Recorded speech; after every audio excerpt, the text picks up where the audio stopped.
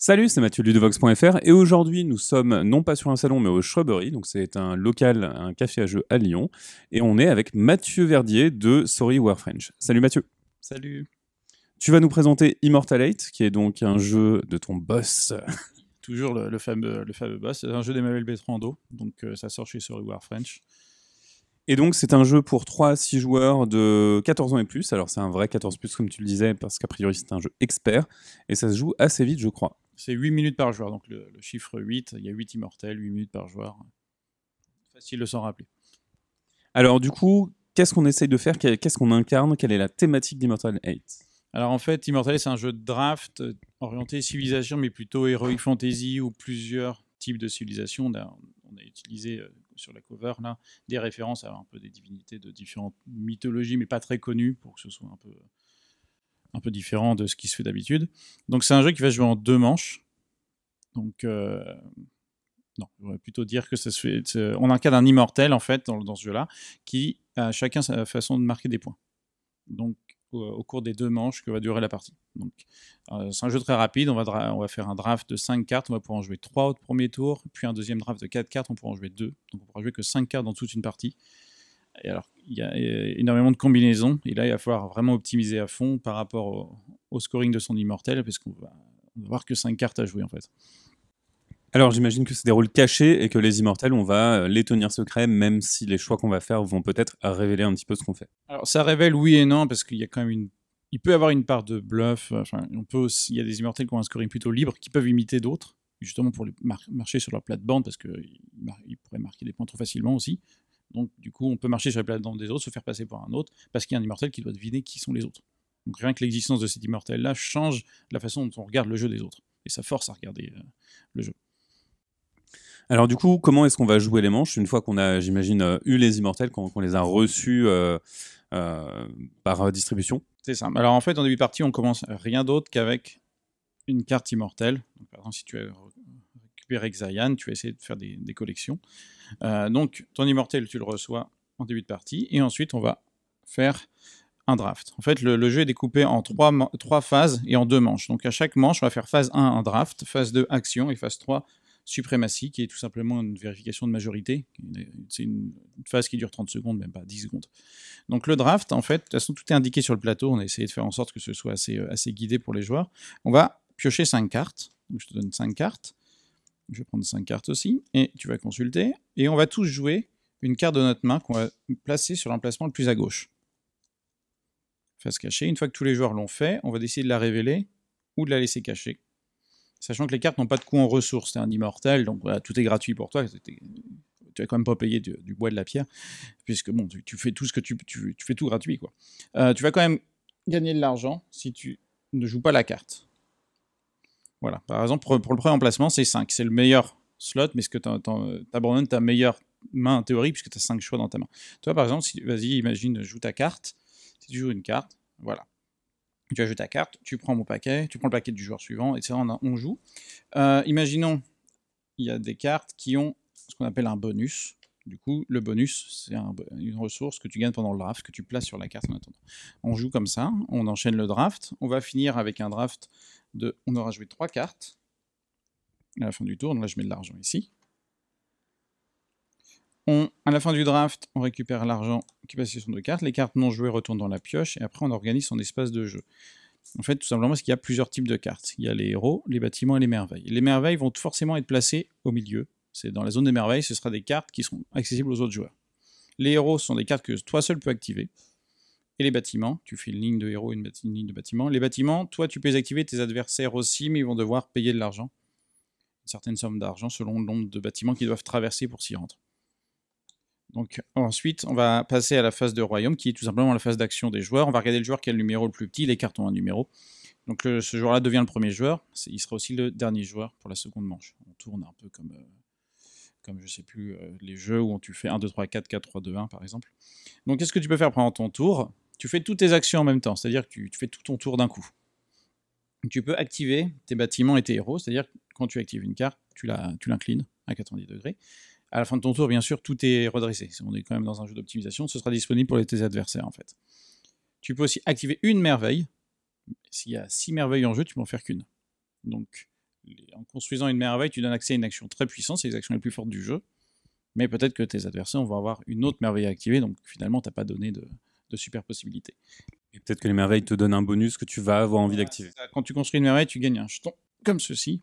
Et il y aura une majorité à la fin sur le joueur qu'on a construit le plus, il gagnera des points, etc. Donc c'est toujours. Euh, il y a beaucoup d'incentives, on va dire, de, choses qui donnent envie. Il y a toujours un peu de la coopération forcée, des, des, choses qui.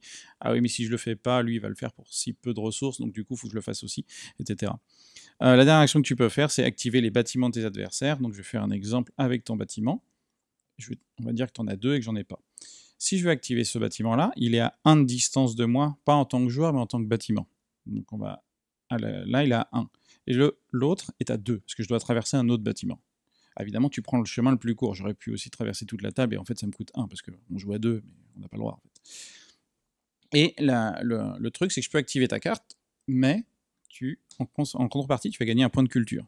Puisque bon, je suis venu dans ta ville et puis euh, j'ai utilisé tes capacités. Ça vaudra un point de victoire à la fin de la partie si le bâtiment est toujours en jeu.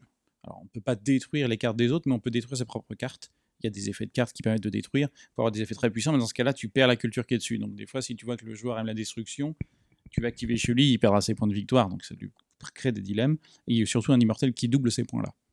C'est aussi pour ça que ce ne sont pas des points de victoire comme ceux-ci, ils ont été différenciés pour qu'on puisse euh, bah, justement les différencier. Euh, voilà. À la fin, du tour du tour d'un joueur, il redresse toutes ses cartes. Ensuite, on joue en sera au premier, première manche. On termine toutes les actions comme ça. Et on va tout simplement passer à une phase de suprématie. On va regarder le joueur qui est majoritaire en jetons, civilisation de type militaire. Il y a trois types de jetons dans le jeu, en fait, la militaire, science et le chaos. Donc on va regarder le joueur majoritaire en militaire, donc strictement, donc si égalité ça marche pas, il va gagner un jeton suprématie qui vaut 4 points de victoire. Idem pour la science, mais on ne le fait pas pour le chaos. Il y a une carte qui permet de, créer une majorité pour le chaos, mais il faut la jouer. Voilà. Ensuite, on passe au deuxième tour. Tout est indiqué sur le plateau deuxième tour. Il suffit de faire ça. On refait une phase de draft, une phase d'action et une phase de suprématie. Et on passe au point de victoire. La phase de point de victoire est assez rapide on, va appeler les immortels dans l'ordre. Donc tu vois là, au dos des, cartes immortelles, il y a un rappel de tous les immortels et aussi l'ordre dans lequel ils sont appelés en fin de partie. On appellera toujours Justice en premier, Exaïen en dernier. Ils vont être appelés dans l'ordre et ils vont tous d'un seul coup, du coup, euh, marquer des points. Comment on marque des points? Les points de ton immortel, 4 points par suprématie, tes points de culture, tes points de direct que tu as accumulés, le classement en merveille, et si tu as réussi à en avoir, des diamants qui sont la ressource la plus, rare du jeu, et il n'y en a que 5 dans le jeu. Voilà. Ensuite, on décompte tous les autres. Celui qui a le plus de points est gagné. En cas d'égalité, c'est l'immortel avec le chiffre le plus élevé qui gagne la partie. Ok, euh, du coup, effectivement, ça a l'air assez rapide puisque finalement, comme tu l'as dit, on va jouer 5 cartes, même si euh, dans la phase de royaume, on va pouvoir activer pas mal de choses.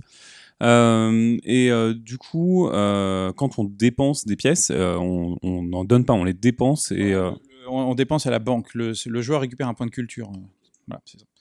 Euh, en fait, la phase d'action, la phase de royaume est importante. C'est, parfois, je vais faire activer bâtiment A pour faire effet B, puis ça me permettra de faire C. Donc, il y a vraiment l'ordre, il faut réfléchir, parce qu'il y a beaucoup de combos dans le jeu. Les règles sont plutôt simples, mais la richesse vient, la profondeur viennent de tous les scorings des immortels et de toutes les combinaisons qu'on peut faire avec les cartes, en fait. Euh, donc, est-ce qu'on peut parler de, des grandes typologies d'immortels? Ok, alors je vais t'en montrer un ou deux ou trois. Alors, on va pas partir des, grosso modo, des plus simples. Euh, par exemple, tu as celui-là, c'est le numéro 8, euh. Lui, il va essayer plutôt de faire des collections de, jetons civilisation différents. Donc, il a marqué 8 points de victoire par euh, série, sachant qu'on ne peut pas en avoir plus que 10 au total des jetons. Du coup, il peut faire 24 points maximum. Et ces diamants valent toujours 8 points de victoire. Parce que en fait, il y a un scoring sur les diamants qui dit s'il est tout seul, il vaut 8, mais à partir du moment où il y a plusieurs enjeux, ils vont euh, baisser en, point d'écart. Lui, il n'est pas affecté par la dépréciation des diamants, en fait. Donc voilà, évidemment, il peut faire des, points de victoire de plein d'autres manières dans le jeu, mais son scoring, c'est ça. Tu Gohan Soul, qui est peut-être le plus simple pour découvrir le jeu. Lui, c'est un immortel militaire, donc il va marquer 3 points de victoire par jeton militaire que tu contrôles, donc maximum 30, puisque tu peux en avoir 10 et un point de victoire par carte de type militaire. Donc il y a des cartes, bah, par exemple comme cette carte-là, comme un bandeau militaire. Lui-même étant militaire, ça veut dire que tu peux terminer une partie à un point de victoire, ce qui Au moins, tu n'auras pas la honte. Voilà. Euh, tu as son pendant scientifique, Phoenix, qui va marquer des points de victoire selon le nombre de jetons de science, mais c'est un tableau, là, c'est plutôt des paliers, et elle double ses points de culture aussi. Donc, elle ne fera pas autant de points si elle a 10 points. 10 points de science, ça ne vaudra pas 30 points, c'est 18 maximum. Mais par contre, c'est l'immortel des combos. Là, si on la laisse partir en live, ça peut être très violent. Euh, tu as Avilasha, qui est aussi un spécial, ce que j'appelle ça des immortels spécialistes. Hein, ils essaient d'accumuler le plus dans un type. Lui, c'est plutôt des jetons de chaos. Donc deux points par jeton de chaos, mais en jeu. Il y a deux immortels du chaos, ils vont scorer en fonction des, jetons violets, mais en jeu. Donc il y a des cartes qui en distribuent aux autres et qui les bloquent pour leur majorité, etc. Et aussi un point de victoire par pièce. C'est le seul moyen de marquer des points avec les pièces qui nous restent. Sinon, ça, ne vaut rien en fin de partie. Ok, et euh, du coup, c'est un jeu qui a, une petite histoire maintenant, parce que euh, juste après le Festival de Cannes, il y avait un Kickstarter euh, qui a été annulé. Est-ce que tu peux m'en parler un petit peu? Alors en fait, tout simplement, le public américain, on n'a pas réussi à le, convaincre suffisamment. Le français a suivi. Mais euh, voilà, c'est pour ça qu'on a annulé, sachant que derrière, on a eu la possibilité de, de le distribuer, donc ce qui permet au jeu de vivre quand même. La sortie est prévue fin août, août ou septembre, fin août en tout cas, ou septembre, dans les boutiques. Pour 36 euros à peu près.